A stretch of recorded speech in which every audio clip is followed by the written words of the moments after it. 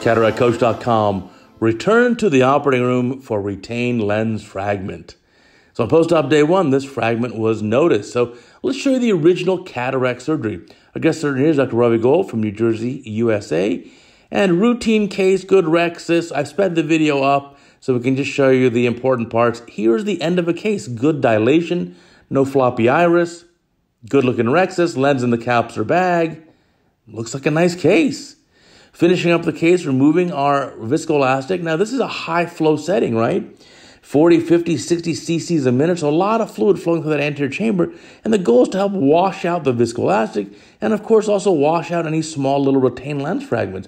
And it looks pretty clear. I mean, I don't see any retained fragments anywhere. And again, it's good dilation. Really good dilation. You can see that's a six millimeter optic.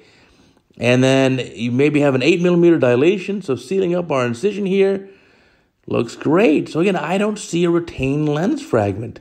And that's just the thing here. Sometimes you don't see these little fragments.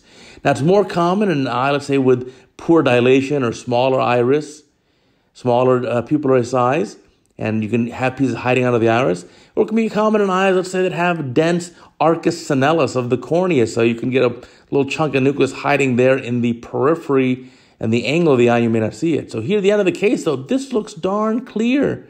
See nothing, nothing out of the ordinary. And so here's the end of the case, incision sealed up, beautifully centered lens. Everything looks just fantastic. But again, we're, we already know we're going to have retained lens fragment. Here's post-op day one. Look at that. Right there in the inferior angle, this big piece of lens material. And here, this view, you can really see it now at the slit lamp microscope. So back to the OR. So here's this, the trick for the OR. When you get inside the eye, get that pair of paracentesis open. And yep, you want to put your anesthetic in. That's the anesthetic that's also causing some dilation. And you want to put viscoelastic to hold that piece in place. Now, sometimes it's a small piece and you don't want that to be lost somewhere. A bigger piece is a little bit easier. But the viscoelastic holds it in, into position here. And you notice the incisions being only a few days or a week out, open up pretty easily. Now go with a phaco probe and just feed that piece. Don't try to chop it, just try to emulsify it slowly in one big piece, and then it can be removed. So there it is, just like that. And that's obviously going to help a tremendous amount. You're going to re- reduce the inflammation of the eye.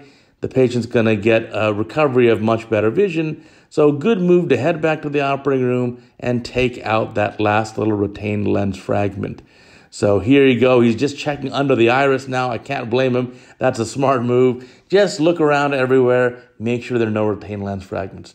So yes, I'm going to tell you, you will experience a retained lens fragment probably in the next year or so. And if you're a high volume surgeon, even a few times a year. Again, normal part of what we do with the advent of phaco and small incisions for cataract surgery, it means we break the cataract up into many, many small pieces and we can have a retained piece there and then not see it because it can be hiding and not see it till the day after, that's okay as long as we recognize this, we know how to handle it.